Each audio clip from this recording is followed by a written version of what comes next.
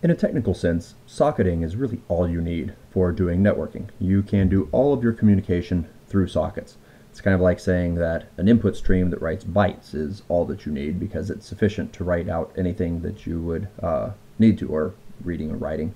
Um, but in practice, you don't want to do all of your communication at a byte level, and doing sockets can make things harder as applications get bigger.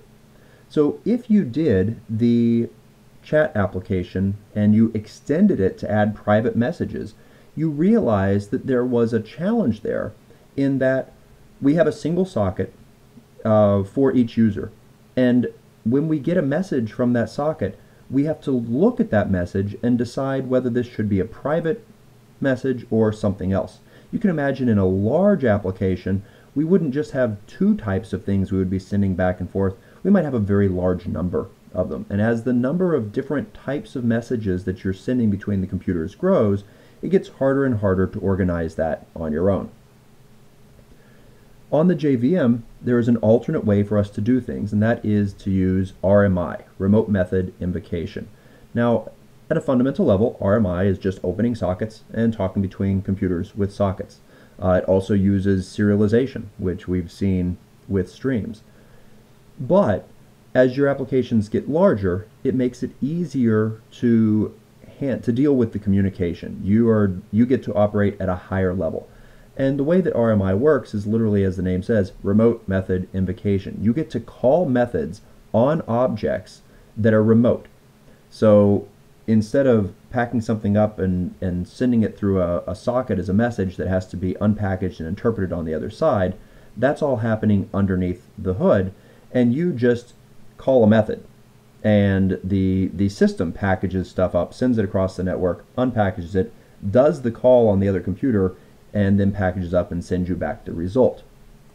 There is a package in the Java API called RMI that has a number of sub packages on it, and so we're going to be dealing with a number of the different parts of this.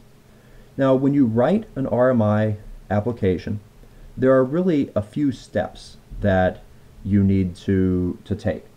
And so in order to illustrate these, we're going to once again write a simple chat program, uh, but it's not going to be quite as simple as the previous one. Um, it's, it's going to have a GUI on it and potentially the ability to send more different types of messages. So I want to make two, actually, I'll make two Scala objects. Um, we'll talk about what the different steps are in building a uh, an RMI application. So I'm going to make my RMI chat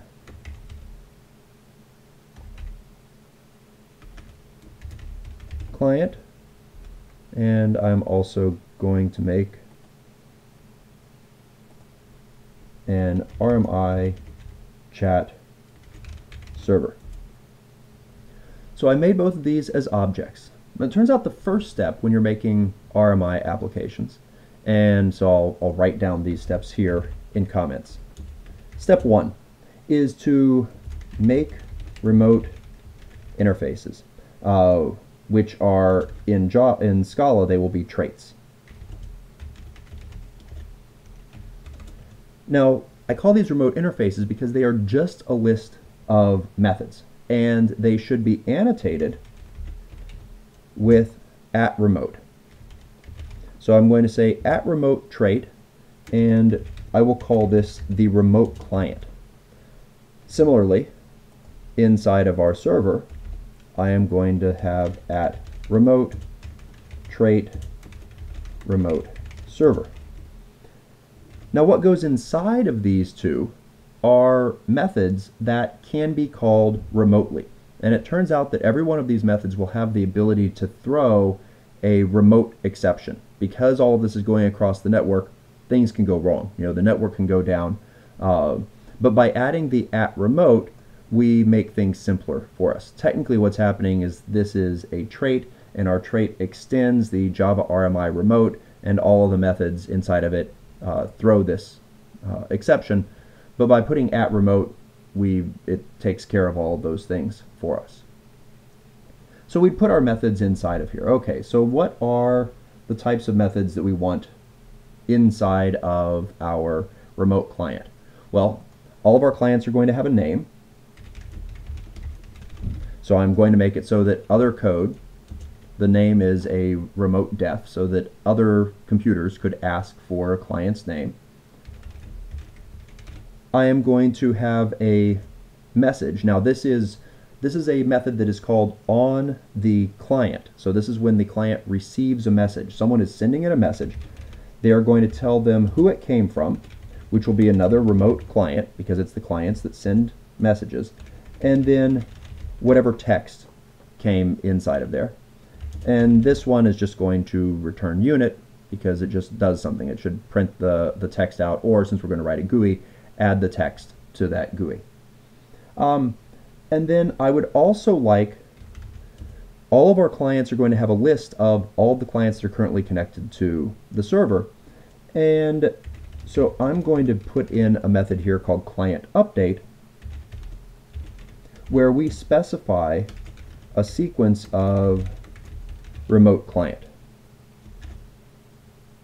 And this one is also going to return unit. So if something changes with the clients on the server, the server can send a can call client update on the clients and they will be able to update their lists in the GUI.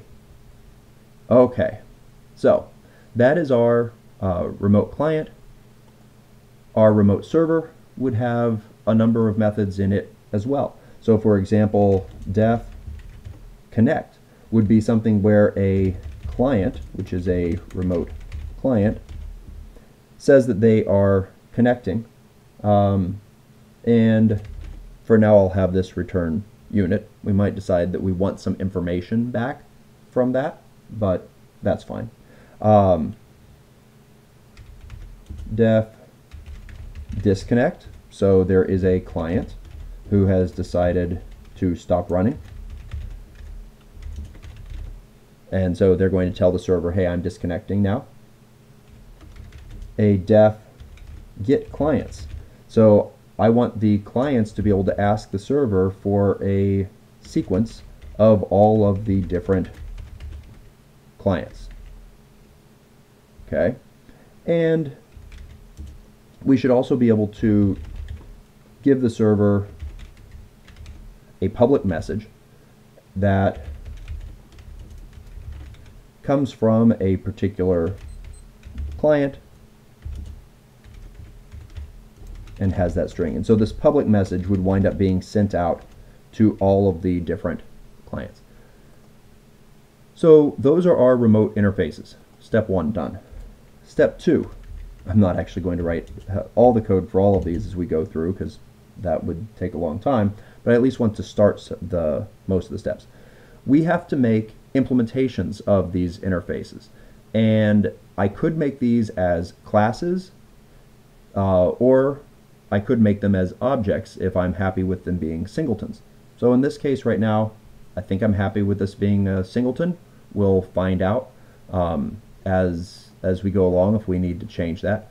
But when you do this, it has to extend our trait and it also has to extend one of the types that's provided in RMI that allows something to basically be an RMI object.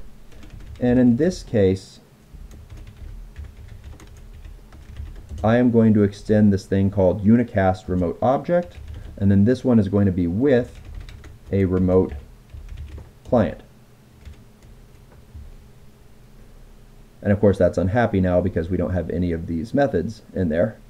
Over on the server, extends unicast remote object with remote server and that will too will be unhappy. So step two is uh, make implementation that extends unicast remote object and the remote interface, whatever that interface is for this particular implementation, whether it's a class or an object. Okay, so that's step number two. Um, And of course, we will have to fill in all of those methods. I'm not going to take the time to do that right now because, well, that will take several videos for us to do. Step three. Um, we need to have the server bind itself to a uh, to something that's called a, a, an RMI registry. Okay, so there has to be this program running someplace that is this registry, and we need to bind to it. And the way we do that is inside of Java RMI, there is a class called naming that has both a bind method and a rebind method. The bind method, if there's something that already has that name, we'll throw an exception. The rebind, if there's something that already has that name, we'll kick it off and use this one instead. So I'm going with that. So this is going to be our chat server is the name I'm going to give it. And the object is our server here. So bind to RMI registry is step number three. Step number four is on the client side now, we so the server would run first and it would bind itself. On the client side, we need to look up the server. So the server will be set to, once again, this is inside of naming, dot, there is a lookup method where we give it the string, and our string has to agree that, so we use the name chat server, and that will give us back the object uh, there. Now, we'll have to play a little bit more with this because right now it's just a remote, and we need it to be a remote server, so we'll work on that when we come back and look at, uh, at how to actually do some of the details of, of the implementation. So client does a name lookup. And then step number five is that we need an RMI registry running someplace. Now, it turns out one RMI registry can serve lots of various programs, so you only really need to run one on your computer, and you can do it from command line. Doing that is challenging though because it has to be in the right class path to see all of your compiled code. The easiest way to do that is inside of the API under Java RMI registry there is a locate registry which has a method called create registry and you can give it a port number the default port number is 1099 and that is the one that I'm going to use because it makes our life simpler uh, when we're doing other things. So bring up the registry. Now this, once again, could be done at command line. It might not happen every time you run the program, but I like to do it inside of my server. I am going to do locate registry dot create registry on port 1099. And that does have the advantage that it automatically gets the right class path because it's part of our program here. And everything will be happy. So these are the five steps. And this seems like it's more complex than the socketing. But the thing is, once you have stuff in place with these initial five steps, adding additional methods to your remote interfaces, adding more remote interfaces, basically building your system out is much easier than it would have been if we had taken the socketing approach. Socketing approach has a kind of an easier startup for a small application, but it doesn't grow as well. Uh, so we'll come back and we will be working on writing the various parts of this to make it so that we can do our chat in a GUI uh, using RMI.